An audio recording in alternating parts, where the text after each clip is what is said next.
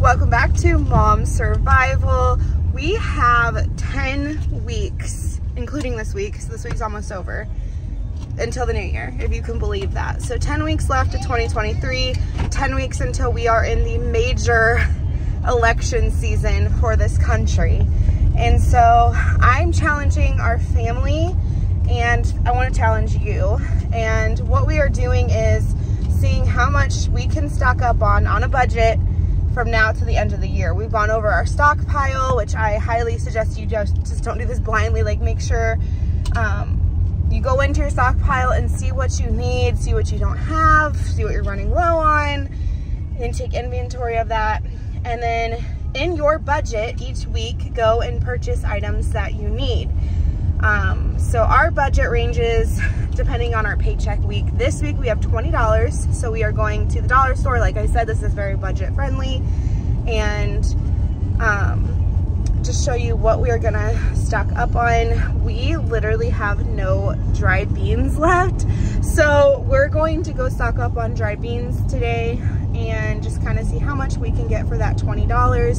If you only have $5, if you only have $10, I still super encourage you to do this because like I said, this year is coming to a close, winter is coming, and things are happening pretty rapidly in the world, and you definitely don't want to get caught without having a sufficient food supply that you can hunker down with. So, like I said, I'm challenging you for the next 10 weeks. I'll show you what we're getting each week.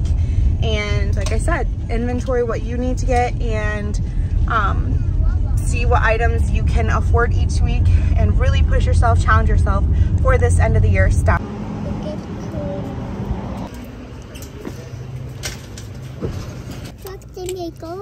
Photo truck named Mango. You what? Photo truck named Mango. Oh, okay. Photo truck named Mangoes. What? Okay, hold on, buddy.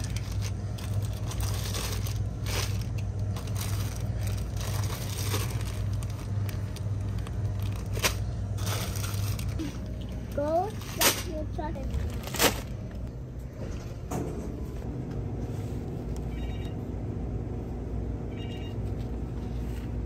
Okay, so that did not go as planned at all because I have a bone to pick with my Dollar General. The closest one to me is, we're in a small town and I know they're understaffed, but still, it is so unorganized. They have stuff just sitting in the aisles.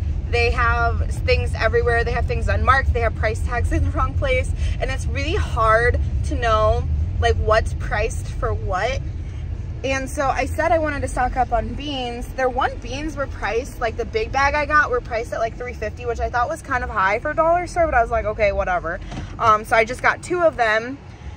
And then I got, they had a bunch of muffin mixes on sale because that makes like for a super easy breakfast. It's minimal ingredients. It makes, in a pinch, it makes like a really easy like filler, I guess, for my for my son and especially my husband likes them too. So I was like, I'll just get a couple of these and some beans. And then I ended up getting up there and the beans were actually only a dollar and which I should have known it's a dollar store. And so I came up with only $16.50. So I have $3.50 left over. If I didn't have my little guy with me who was, he doesn't do well in the store. He doesn't like to stay in the cart. He's at the age where he wants to run around constantly. And I honestly get anxiety like when I have him out at the store by myself just because of the world we live in. So I don't like to stay too long.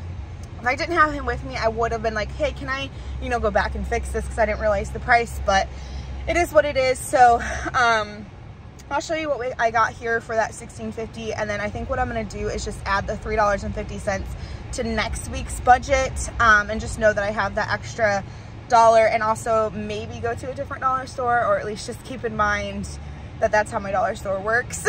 but definitely, if you're gonna do this challenge, give yourself ample time, maybe not bring the babies with you um, so that you have time to kind of price everything out, especially if you're on as tight of a budget, especially of like what we are on. So yeah, so I'll go ahead, we just pulled in, I'm gonna get him out of the car and then I'll show you what I got for that $16.50 for the stockpile.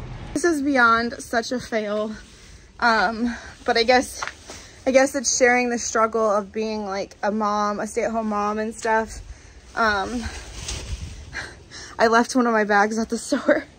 I left all the muffin mix I bought at the store. So it's only $5.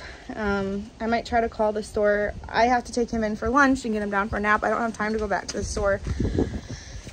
so that really stinks. But just know if you're like a parent out there trying to prep, it's not easy. And this is what it looks like. And it's messy and we're going to make mistakes. And that's okay. so I'll at least show you the beans that I got. All right, so we got one, two, three, four, five pounds of pinto beans. I believe these are two pounds. So four pounds of these northern beans. This is all the beans they had at the dollar stores you saw in the video earlier. So definitely next time I'll know to go to Walmart. I think they're just as cheap there. Obviously week one, I just kind of failed at because I forgot half of our items at the store. Like I said, if you can go without littles as a mom, I think it's so much easier.